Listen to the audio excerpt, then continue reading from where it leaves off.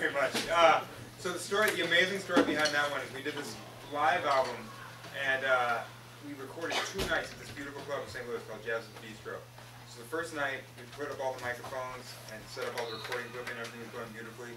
The second night, we got up to play, and uh, we're playing our first song, and the sound man comes running on stage. He's like, pulling out, well, these are wireless, but he's pulling all the cords out, like changing, we're trying to play the song that we just played.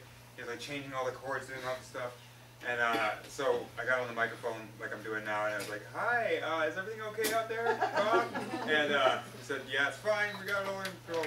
We found out later that someone had come and cut all the cables. And we told the story last time, and you can see they've made improvements here. and uh, so someone had cut all the cables on our microphone, sabotaged. Um, so that tape didn't make the record, clearly, uh, oh. but they, quickly fixed it.